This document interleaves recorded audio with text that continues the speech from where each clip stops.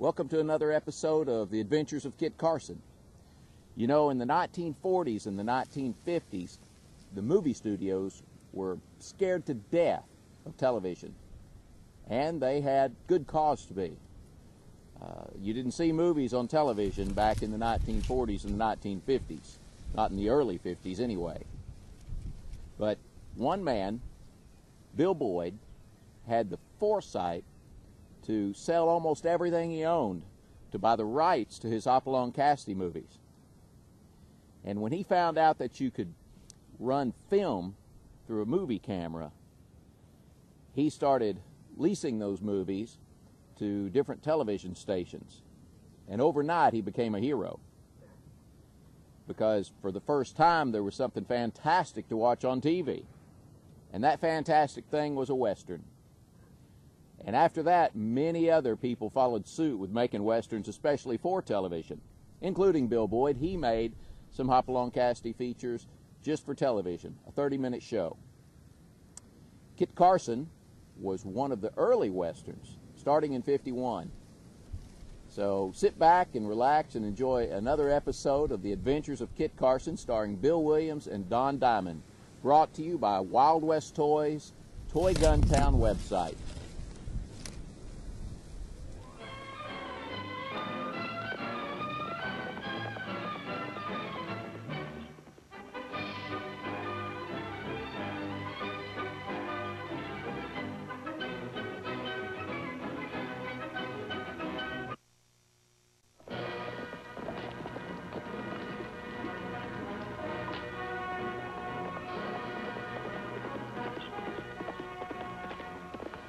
Caramba, how she rides for one so little. Maybe the pony's running away with her. You're wrong, Toro. She's trying to get more speed out of that pony.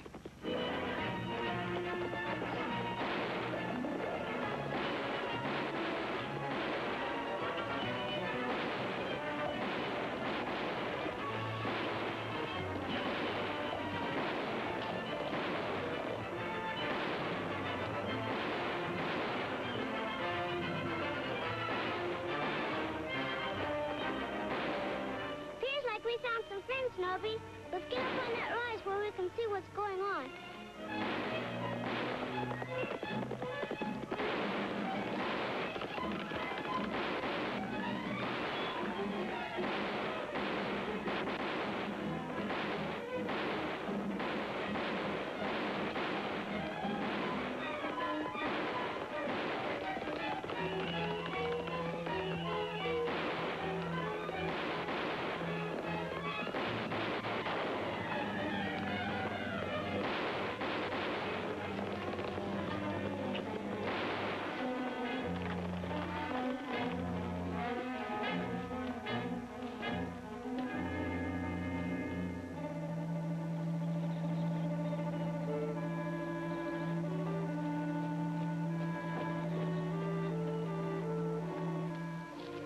going on. They've gone the other way.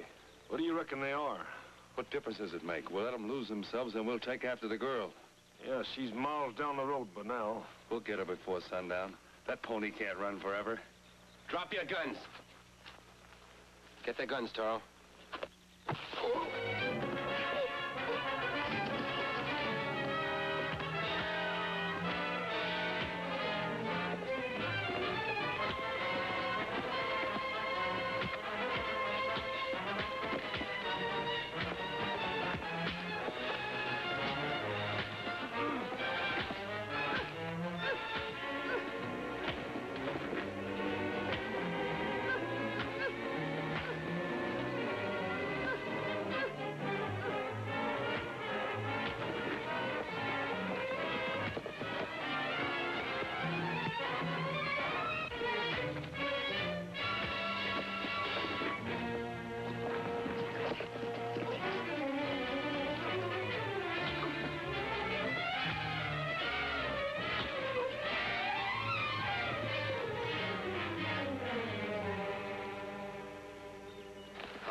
Mister. I ain't carrying anything but a little bag of gold dust.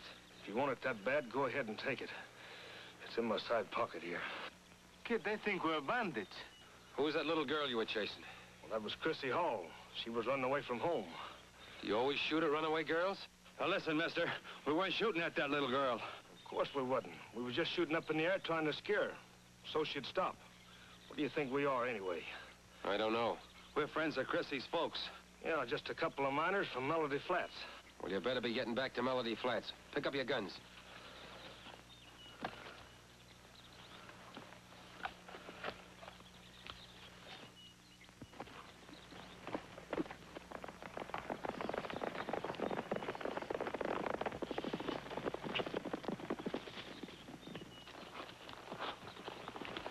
Where you going, Chrissy?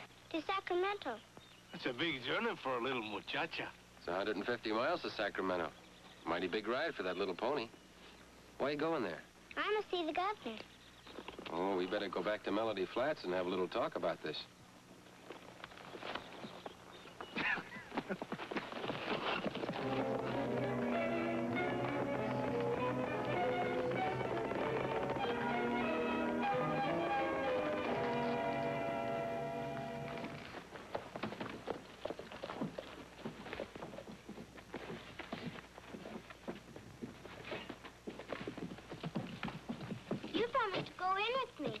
Don't worry, I want to meet your Aunt Abigail.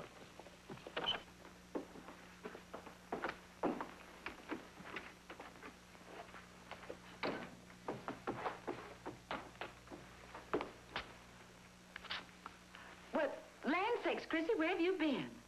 Well, I'm much obliged to you for bringing her home. Well, you go get yourself cleaned up. It's most supper time now. Where did you find her? Four miles down the trail. She was on her way to Sacramento to see the governor. That child will be the death of me. She's always been more like a boy than a girl, gallivanting around the country on that pony. She rides like a real caballero.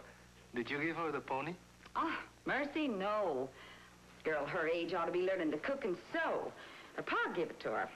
My sister was her ma. She died soon after Chrissy was born, and she was raised by her pa. Raised just like a boy. Where's her father now? Oh, he went off up the Feather River country looking for gold. He's a good enough man set when it comes to raising a girl. Well, set yourselves down. You'll stay for supper, won't you? You have frijoles, see? Uh, it's very kind of you, ma'am, but we have another call to make. Oh, well, it seems like I ought to know your names after what you did for Chrissy. My name's Kit Carson. This is my very good friend El Toro. I'm right honored to know you. Gracias, el placer es para nosotros. Did you send two men to look for Chrissy? Well, yes, yes, I did. I sent Dave McGaw and Jim Dagger to find her. They told me you had a little misunderstanding on the trail. You boys treated them pretty rough, I reckon. They shot at Chrissy. Oh, never believed that. They might have tried to scare her, but they'd never hurt her. They're good friends of her pa. You're not going to punish Chrissy, are you? Land sakes, no. She's a good girl. Only she gets crazy notions sometimes. Like she lives in a make-believe world. Well, you tell her we'll be in to see her before we leave town. Are you, uh, aiming to stay long in Melody Flats? No, ma'am, we're not. Well, I'll just put a pot of beans on the stove right now. You can come get them any time. Mm, eso está muy amable. Bye, ma'am. Goodbye. Chrissy? Come here this minute. Now, you go get Dave McGaw and Jim Dagger right now. Go on. Go out the back door.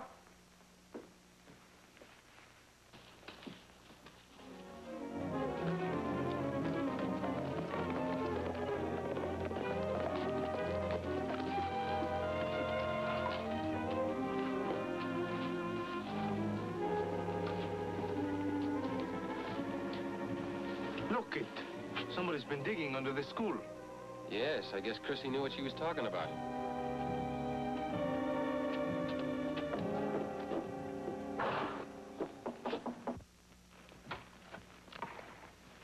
Uh, Chrissy sent us. Chrissy sent you. I guess it's all right. Come on in.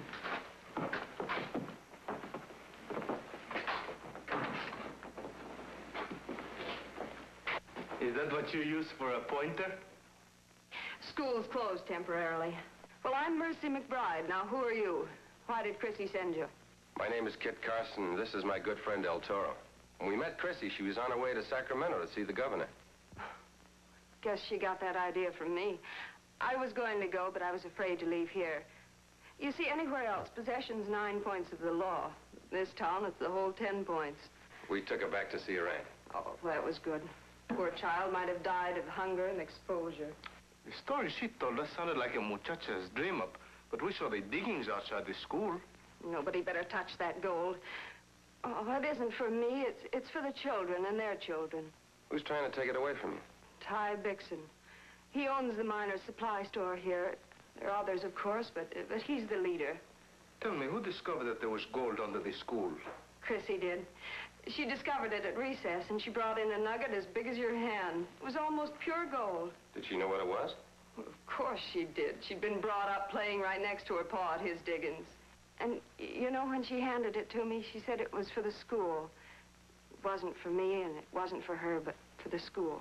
Who owns the school? I do, but I decided right then that the gold was going to go to build up a fine new one. I told the children about my dream, and they went home and told their parents.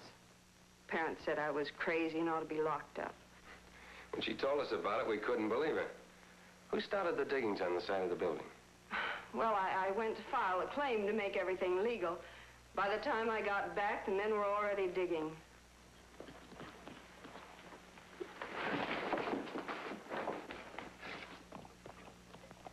You think she's loco, see? What's crazy about wanting to do something for the children of the country?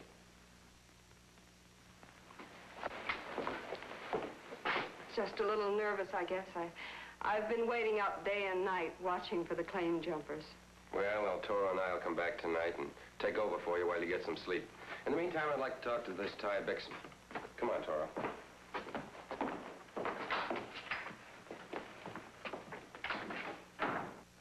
All those claims on Danger Hill, including title to schoolhouse property, are questionable. If we get rid of the school, Mom, divvy it up into a lot of claims, there's nobody going to be able to take it away from us. Yeah, it sounds mighty good, Ty. But what are we going to do about Carson? He knows about it now. This doesn't concern anybody, except us here in Melody Flats. If Carson sticks his nose in, I'll twist it for him. We tried to play it square with that school, Mama. Didn't we offer to build her another schoolhouse? Yeah, we tried to make her a partner, but she wants it all. And not for herself, but for a lot of kids that ain't even born yet. You're the justice of the peace, Ty. Why don't you call her insane and lock her up? Here's Carson now. You boys get outside.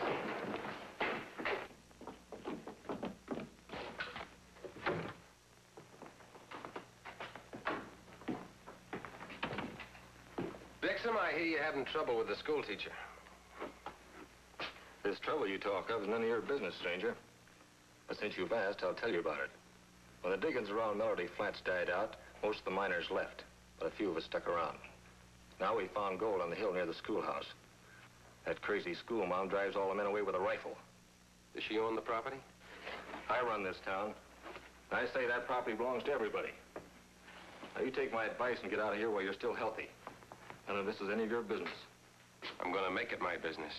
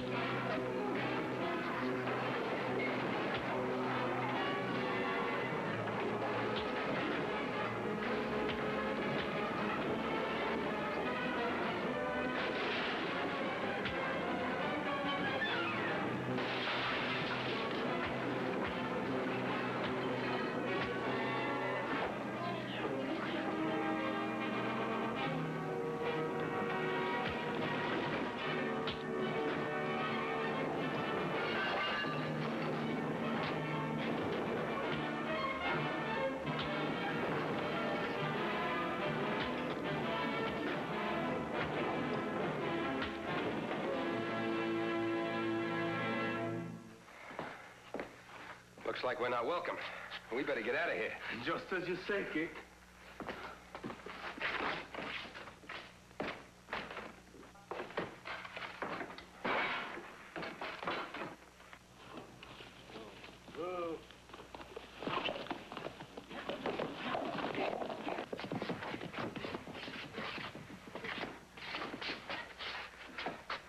They're heading back in the direction of the school.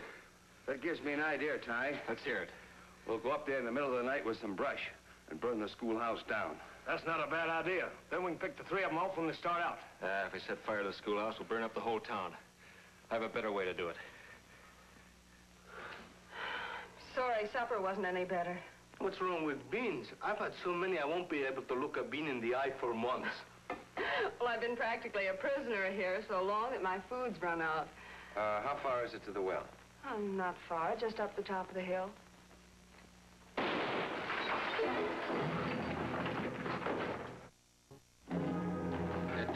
They're running away.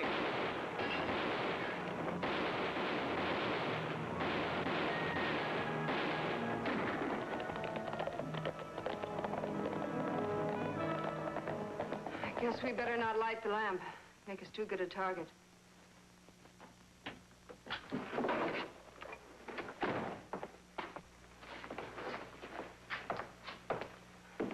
Guess they think they have us trapped in here. I walked all the way around the house. There's nobody out there now. I guess Chrissy had the right idea about seeing the governor. You mean we should not have taken her home? I mean, someone has to go and see the governor. And I guess it's going to have to be you, Mercy. El Toro and I'll stay here and protect the school while you're gone. But what'll I ask him? Ask the governor to give you a state charter for the school. With that in your hand, no one will ever bother you again. A state charter is something that even Bixon will respect. Might be a month before I get in to see him. Yes, you will. I'll give you a letter to him. That'll get you back here very quickly.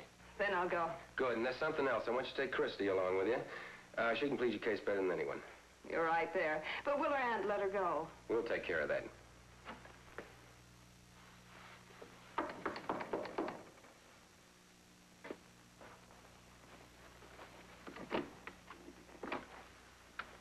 I brought my laundry. Amor mio, I've thought of nothing but you since I left here. When do you want this? I'll wait. Oh, will you indeed? Well, come on over and eat some frijoles. I knew you'd be back, so I made a big potful just for you. Chrissy. Chrissy! Call her again. She's bound to hear you. You don't know how children sleep. Chrissy! Now, you just make yourself comfortable. I'm going to get your beans. Uh, please don't trouble. Only sit down here and talk. There's no trouble at all. I've got a pot full right here on the stove. Chrissy! Chrissy! Chrissy! What did you say? Oh, I was admiring you out loud. I thought you called Chrissy. Uh, uh, I was talking about your eyes. I, I said they're crispy. You know, crispy blue, like the snow on a mountain peak under the bright winter sun. Oh, you talk the prettiest thing. Why don't American men talk like you do? American men talk with the mouth. I talk with the heart. Oh, come on, Angel mio. Sit down beside me and talk. There's much to tell you of your loveliness. No, no, you have to eat first. I know what's good for a man. Mr. Carson wants you to go and tell the governor all about our school, dear. And I'm to go with you. Will you saddle my pony for me, please? Oh, no, dear. We're going by stagecoach from Morgantown. Dress quickly and don't make a sound. And put on lots of warm clothes. Say some more pretty things, El Toro. Con todo el corazón. Oh, that sounds real nice. What does it mean? It means with all my heart. You know, I'm enchanted about everything concerning you except your name. Well, what's wrong with my name? Well, It lacks the poetry that I see in your soul. It's not worthy of your beauty. From now on, I shall call you only Gail. Do you like that? That's cute. Just Gail. Then may I have some more coffee, Gail? To hide, quick. In here.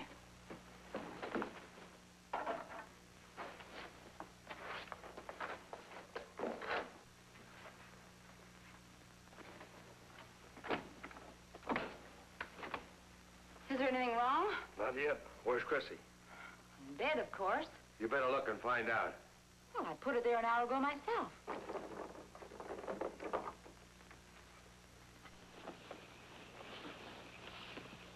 Are you going with us? Just a little way. Don't talk, dear.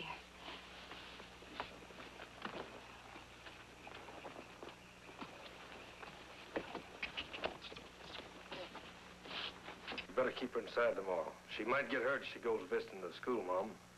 I'll watch her. Remember, you've got a part in this, too. You won't have to be washing any more miner shirts when we cash in. See you later. Good night.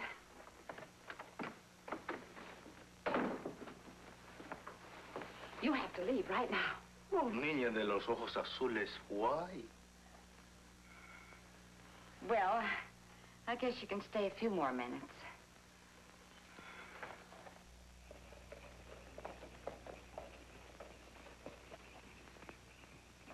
I'll leave you here.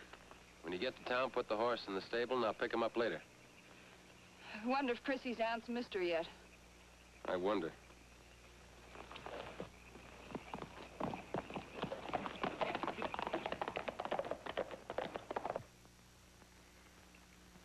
Look.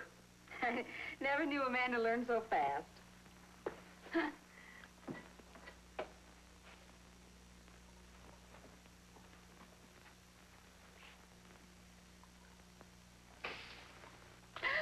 Put it down. It's red hot. Here. Oh, I'll just look in on Chrissy. She hasn't made a sound for hours. Oh, wait. I, I have something to tell you. Tengo vergüenza. Well, what does that mean? I'm a bashful man, and it's hard for me to tell you how much I love you. Please, sit down while I tell you all that is in my heart. On my knee? Oh,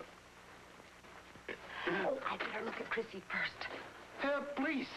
At this moment, my heart is bursting with romance. At a time like this, you should forget the child, forget the laundry, forget everything. Oh, well, Tarl.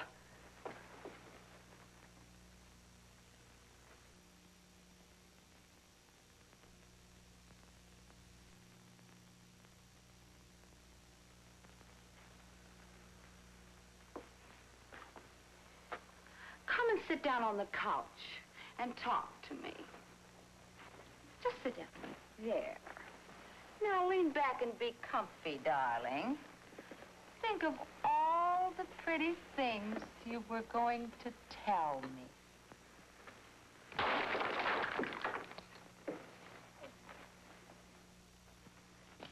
Well, dear, we've nothing more to worry about until we see the governor. Up you go.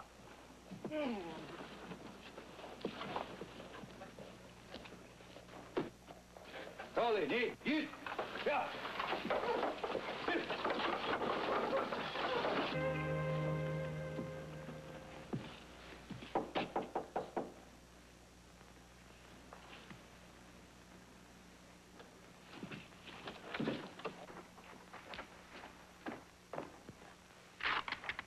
Abigail.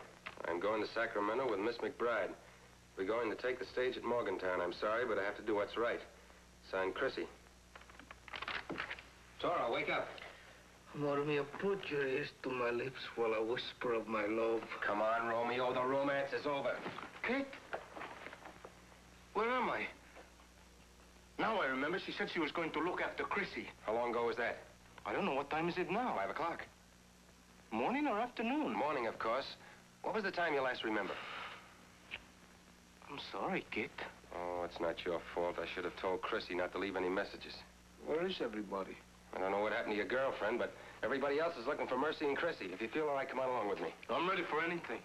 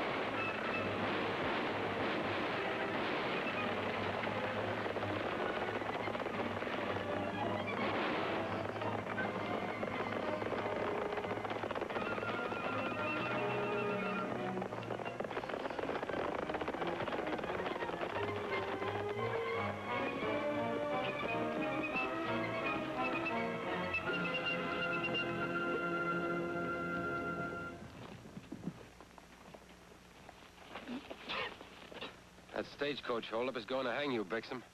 Get on your horse.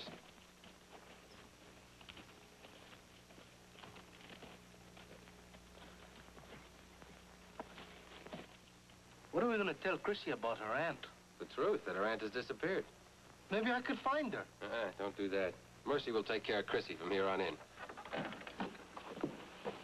Well, the school is now a chartered state institution, and we're going to build a dormitory for homeless children. And the mine's been set up in such a way that the school can go on forever. We owe it all to you and El Toro. Hmm, and what about Chrissy? She's the one who discovered the gold.